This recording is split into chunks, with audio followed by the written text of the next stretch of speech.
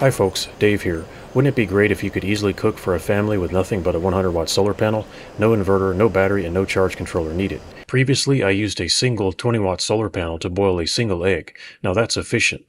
But many people would prefer to buy a solar electric cooker off the shelf instead of making their own. Wouldn't it be great if there was such a cooking appliance for sale on the store shelf? And would it be amazing if a company was already manufacturing such an appliance but didn't know that they were? This is called a thermal cooker. The idea is you take the inner pot and get it boiling on the stove, then put it inside the insulated container. Shut the lid and the existing heat keeps cooking for quite a while. This is a really neat idea. But this thermal cooker has a special feature. It has a heating element. And yes, it can cook. I've been testing it for several days now. The instruction manual says that the built-in heating element is not for cooking, and I understand that. It's just for keeping the food warm. But I decided to test the idea and try cooking anyway. This is some of the easiest DIY solar electric cooking a person can do. You literally just plug in the solar panel and let it heat up and cook. Effectively, this appliance has become a very efficient DC Instapot or slow cooker.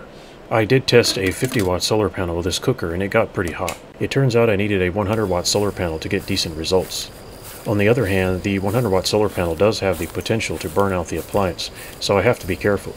A simple inline DC wattmeter can be used to keep an eye on the power input. A DC converter or other device could potentially be used to regulate power input. About 50 watts of heat is what I'd suggest to start. Exceeding that might put the heating element at risk. You need a good quality 2.1mm to solar panel adapter, not the kind with skinny cheap wires as they might melt. That's pretty much all there is to it. This appliance really surprised me. It's got lots of stainless steel and isn't terribly expensive. I don't know how long it will last when used this way, but I thought I'd share the idea, and some clips of the food I cooked in it.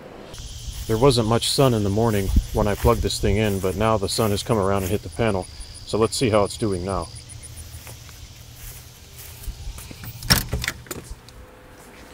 Okay, here's the status so far. We have about 10 volts, about 24 watts. Of course, that's not going to cook all that food, or at least not in any reasonable time. However, we'll start thawing the food. 77 degrees on the inside, the chicken is frozen, some of the vegetables are frozen. What I'm waiting for is probably like 14 volts and maybe 50 to 55 watts. That's about as high as I really want to go.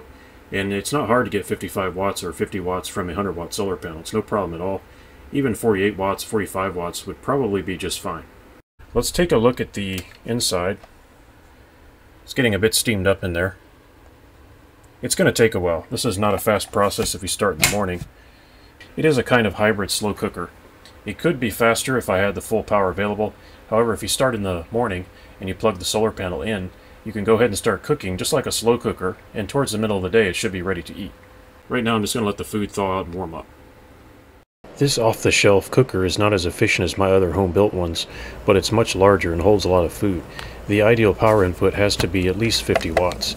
This results in cooking temperatures pretty easily. Here you can see that the food is vigorously boiling.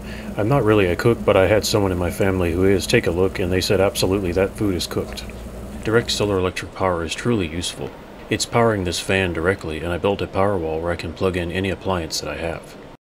If you're interested in that sort of technology, there's a link to the video down in the description. Even the LED lights over the workbench are powered by direct solar electric power. I conducted the cooking test out in my solar workshop. Now we're going to take it into the house and take the food out and make sure that it was actually cooked. Well, as I said earlier, I'm not really a cook, but it was very clear upon looking at the food it absolutely cooked all the way through, and it was very well cooked at that.